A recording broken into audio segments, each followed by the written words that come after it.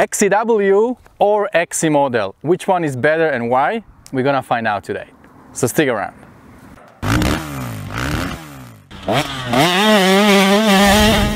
Hey guys, Rado here with Dirt Iron. Well, today we have something a little bit different. Finally, we got XCW on our channel. You know, up till today, I've been riding a lot of XCs, comparing them to four strokes, to older XCs. But today, finally, we got this XCW, which stands for a wide ratio. And I'm really curious to see how big is the difference, how big is the gap between XCW wide ratio, no linkage uh, KTM and your XC that is a little more uh, little more racy. It has the linkage, it has a different fork, and also it has a different transmission. So there is an opinion that that suits better a little bit more aggressive riders, and uh, XCW is a little bit better for your average trail rider. Well, if I look at myself, I think I'm more of a average guy who likes to enjoy both single track and also flowy faster trails so I really want to see if this XCW is bike that would suit me better and if I would feel better on this bike. So today we will compare that. Right after this intro I'll jump into my uh, gear, we'll go ride those mountains and we'll come back here and let's see how I feel. And also you guys please comment below and let me know what do you like more XCW or XC and uh, what are the reasons why you like one or the other. So this is a XCW 300 2017 year built by Jake Clark. This bike had 100 hours on when uh, Jake got it, put brand new Vertex piston in it, then Tom Morgan did a little bit head mod, still running on the pump uh, fuel and then went through everything else of course full fmf system we got the uh, decal works did the decals moto seat uh, seats uh, enduro engineering uh, hand guards and also Enduro Engineering uh, guard for your slave cylinder at the clutch. Then we got a P3 covering the pipe uh, and the skid plate, TM design work, uh, chain slide and, uh, chain guide, all that good stuff. Now Tusk complete set uh, rear and front wheel with the new uh, brake rotors and also in the front there is an oversized rotor to get a little more braking power and Lectron did a carburetor because the Mikuni is not the best, that's what I heard. I don't really have my uh, own experience with Mikunis, but usually there is a, either Keihin or, uh, or Lectron. Some people they go with Smart Carb. The Works Connection did a lot of these blink pieces that are looking nice and just help this bike to stand out a little bit. We are running IMS foot pegs and also this oversized tank from IMS that gives you an extra range. You can go for longer rides. And I think that's a must if you go for uh, these long trips that you just park somewhere and then go get lost in the forest, get a bigger tank, you're gonna need it. We have uh, Supersprox, rear and front sprocket and the chain. Trail tech, very important thing.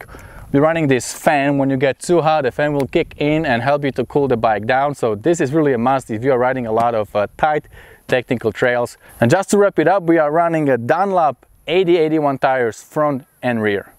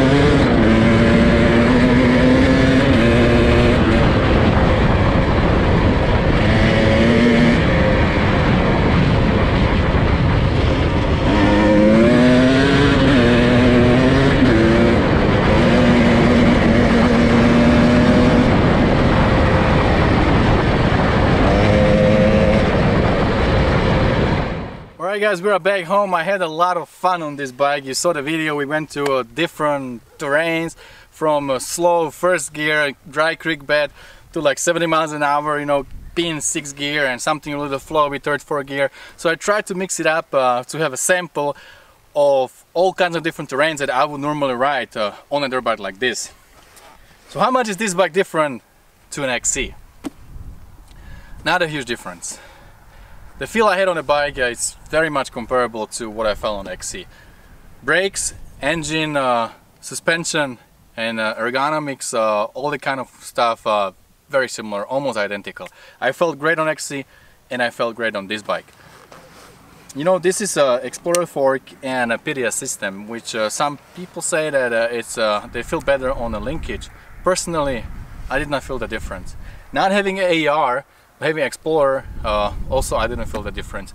It's set up by Racetech. Uh, they also did my suspension and also did a suspension on the 19 exit that I rode uh, like two weeks ago, and they all feel really good. Like for what for what I need to do on a dirt bike, uh, it felt great.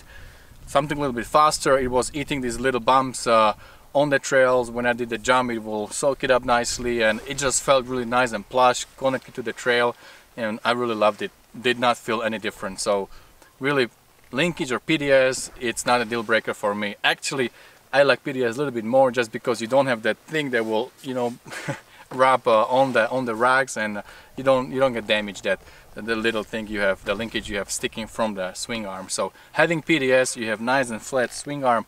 So for trails uh, I think it's benefit to have PDS and you know I'm I'm no racer. I'm not uh, winning any races. So really PDS works better for me now where I really felt the difference uh, was the transmission of course. W-Y ratio, first gear, what we call a granny gear, it's very slow. I could really feel that you shift to first gear and it was good on the dry creek bed that I just stayed in the first gear and was crawling through those rags and when I hit it I could jump over the rag and it felt really good. I like it over there. But then I came to a point where uh, I wanted to shift to second and just kind of stay on, on the low RPM in a second. Like I went to one uh, hill climb that usually I do in the first gear on my bike. So I can go keep a little bit higher RPM and it goes a little bit faster and I climb like that because there are some rags and some roots uh, so it's a little bit difficult to climb it. But on this bike it felt like uh, you want to shift up from the first gear. So I shift to second gear but I didn't go on the gas like I didn't you know continue with the RPM. I was kind of wanting to stay on the bottom of first gear or uh, second gear, and it felt like uh, I'm one gear uh, too high. So there was this gap that was a little bit bothering me between first and second gear. First gear was uh, too slow, and the second was too fast. So you, I was somewhere in between. Not very often. It happened to me maybe twice uh, on the ride today. I was riding for a couple of hours. It only happened to me like twice but yeah I felt it that uh, it was bothering me a little bit. So the, the bottom of a transmission first and second uh, not really a hundred percent. Now I four five and six I love four five and six. When I was on the open trails or on a dirt road I could go five six uh, 60 miles an hour 70 miles an hour and I didn't feel like I'm really you know like a squeezing maximum from this uh, from this engine. It felt great. So if I can uh, put 4, 5, 6 from XCW and 1 through 3 from XC together, I think that'd be the ideal transmission for me, for my riding, for what I do. Because, you know, honestly, when you are shifted uh, in 5th and 6th gear, you want to be fast. Yeah, I, I never shift to 5 and 6 on a trail. I only shifted on, a, on the dirt roads. I'm not very often on dirt roads, but sometimes from one single track to the other, I need to connect uh, maybe 4 miles, 5 miles, and if I can hit a 5th, 6th gear and just go fast, it makes more sense. So I would love to put two transmissions together. Other than that, uh, I felt great. You know, bike is amazing. The engine 300 uh, crawling up, uh, it didn't die on me at all. It, it just it's just a great engine. So, and you know, this being 17 already has that uh, uh, engine that has very reduced uh, vibration. So it felt really great. I just enjoy riding these KTM's. It's a it's a really nice package.